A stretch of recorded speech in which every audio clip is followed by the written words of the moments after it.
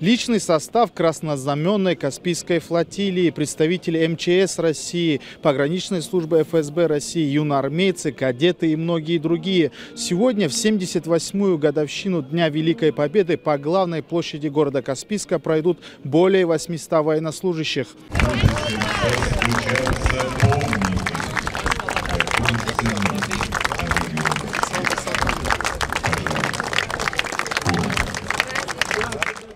Тех, кто ковал победу своими руками, встречали стоя. Ибрагим Паше Садыкову 99 лет.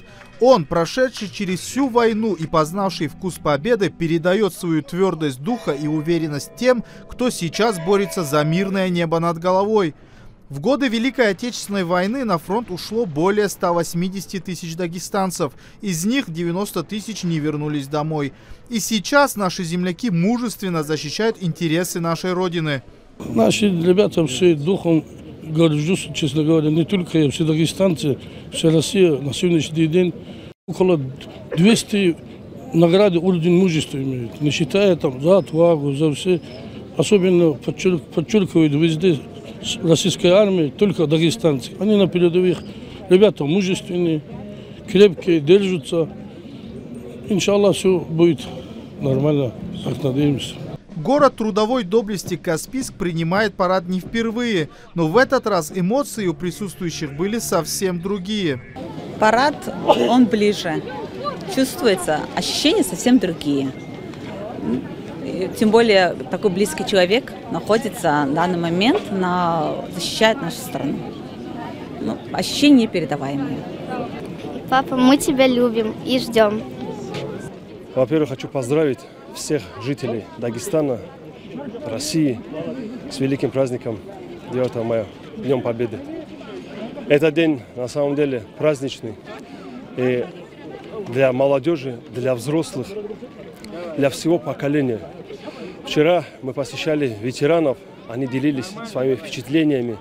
И один из ветеранов пролила даже слезу, говоря о том, что она завоевала этот Крым в 41-45 годах, и что сейчас нашему поколению приходится опять отстаивать Крым, Украину и другие территории, защищать целостность России.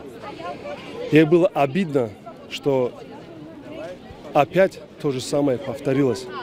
А чтобы это не повторилось, и мы помнили, мы должны то есть, помнить о том, что происходило. Мы должны помнить свою историю, мы должны ее передавать, ценить то, что сегодня есть у нас.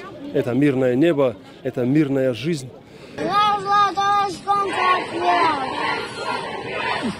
Поздравляю вас с 78-й годовщиной Великой Победы!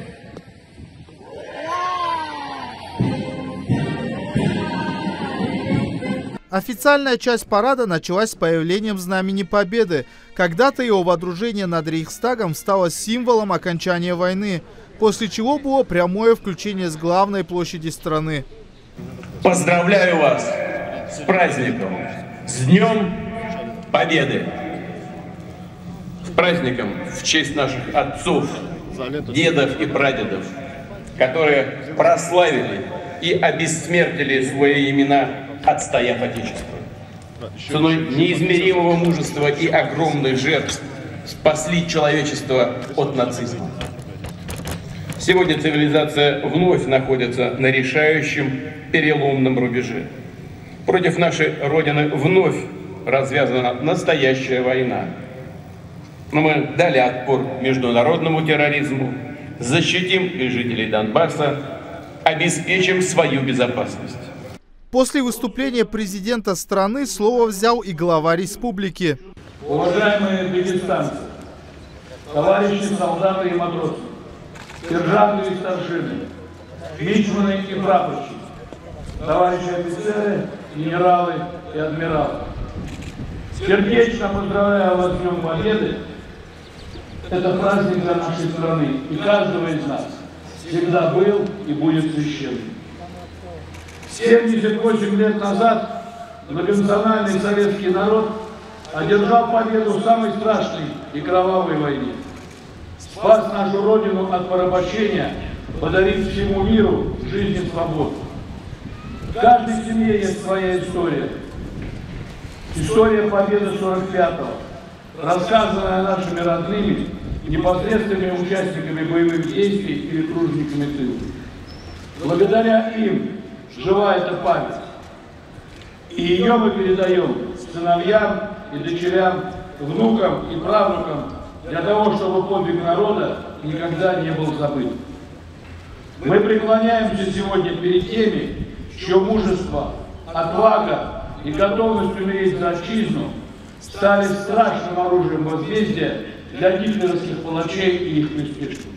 На этот раз парад Победы воспринимается иначе, и это замечают все. Многие проводят и параллель с той освободительной войной. 78 лет тому назад наши деды и прадеды сломали хребет фашистской Германии. Сейчас уроки мужества проявляют наши земляки, участвующие в специальной военной операции на территории Украины. Семь, которые удостоились высокого звания, высокой степени доблести, семь героев. Это говорит о том, что наш дагестанский народ всегда был и остается мужественным, патриотичным. И вновь, спустя десятилетия, рвутся снаряды, полыхают пожары, гибнут мирные люди. Вновь на территории Украины звучит немецкая, итальянская, испанская, английская речь. Вновь выпущена кошачья свора с крестами, леопарды, гепарды. И вновь российские военнослужащие, так же, как и великое поколение победителей, вынуждены бороться с этой нечистью. Но мы никому не позволим украсть нашу победу. Кульминацией парада стал торжественный марш военнослужащих и проход военной техники.